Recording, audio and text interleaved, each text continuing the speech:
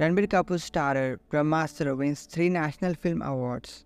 Ranbir Kapoor and Alia Bhatt starrer Brahmastra Part 1 Shiva has won three awards at the 70th National Film Awards. Pritam won the National Award for Best Music Direction, while Arijit Singh won the Best Male Playback Singer Award for Kesariya song. The Ayan Mukherjee directorial won National Award for Best Film in AVGC, Animation, Visual Effects, Gaming and Iconic, Gaming and Comic.